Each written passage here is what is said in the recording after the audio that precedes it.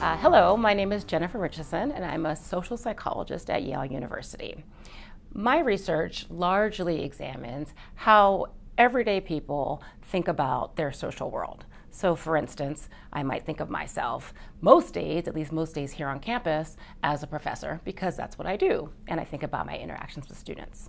I often, however, think about myself in terms of other categories, like my race or my gender, or that I'm a wife. It's this, these questions about how our social categories, or when we're thinking about ourselves, uh, as different social categories, how that shapes our behavior, our judgments, our attitudes, not only about other people like us, but all the people out there who are not like us or who don't share these categories. And this is largely the psychology of intergroup relations. That's what I do.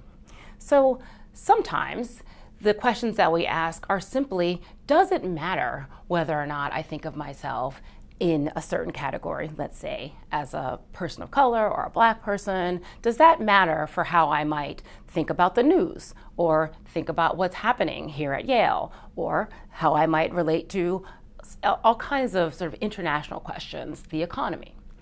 A lot of the work we do, however, investigates how these social categories shape how we think about all kinds of conflicts that seem to be emergent in our society. So, rising economic inequality, for instance. How do people think about this and do their own categories? So, for instance, if you make more money or less money, or you're wealthier or poorer, does that shape how you think about or at least reason about this gulf in the economy that seems to have emerged?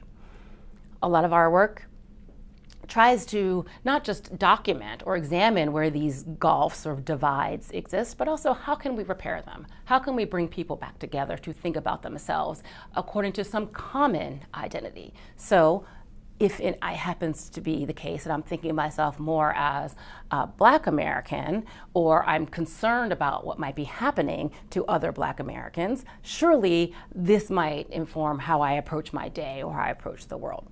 And this is true for people no matter what their racial category.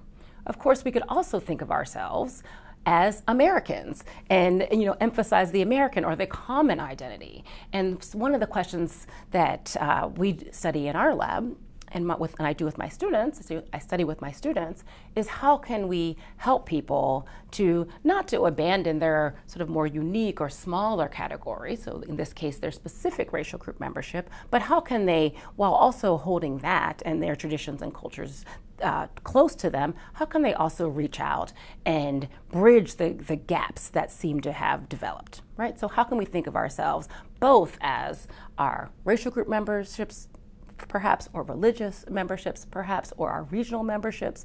Um, so Southern, Northeastern, you know, West Coast, East Coast. How can we think about ourselves in these ways while also thinking of ourselves in some common way, as Americans, for instance, in in the service of bringing the country together, having more positive attitudes, and having more productive conversations about how the country as a whole can be doing better and people can grow and thrive and enjoy the principles and freedoms that this country is founded on.